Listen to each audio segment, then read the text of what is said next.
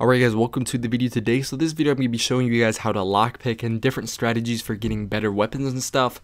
So you can see right now I have a pretty sick blue little axe type thing. It does about 270 damage or 270 attack, which is really good. And I actually found it from opening up one of these things. So these are police vehicles. There's different levels of lockpicking.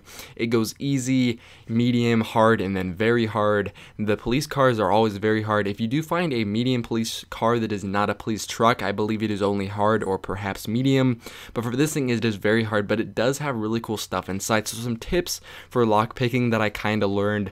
Basically, as you can see, you can rotate at about a 180 degree angle. So the first top half of that key and what you're going to find is that certain things they will go farther than others. So if you're not you know able to move the key beyond a certain point you're going to feel it in your controller and you're going to hear it click. That means you cannot go further and that is not the right spot and that will wear down your lock and right there as you'll see it'll throw it away and you'll have to get a new one. So you're just going to want to play around and try to find the right area like I did right here. You're not going to want to be too tough on it and like push it too much because if you keep pushing you're just going to break it. You kind of cycle your way through the whole entire key so you find that that hot spot or that spot that works for you. Here I am slashing up some, you know, a couple little zombies real quick and looting them.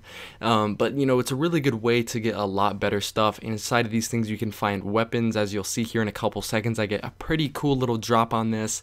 You can find guns, ammo, pretty much anything. But these are pretty much the treasure chest when it comes to lockpicking stuff and getting loot from it. As you can see, I'm trying to get it right here. You really do have to be gentle with it. Once you find the area that does go to a certain point, because a lot of times once you find that little sweet spot, it'll go about three quarters of the way and then get stuck. So you kind of play around within that area and get the right little angle. I'm going to get attacked by some zombies while I'm in the middle of doing this. I was so close to getting it right there, but unfortunately I did not get it. But, you know, while you're looking at that lock picking gameplay, I will get attacked by a zombie really quick. So I wanted to talk about kind of my thoughts about this game so far, just really quick before the lock picking goes back into action.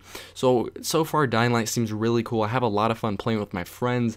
Usually I would only stick to two people, maybe three, so that, you know, two including yourself, so three in all if you're playing with two other people.